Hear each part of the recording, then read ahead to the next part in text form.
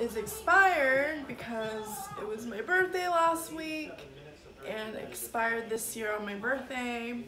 So I have to go drive 30 minutes to the DMV, wait in line for a few hours or however long it takes and get a new license. So um, I did my makeup today.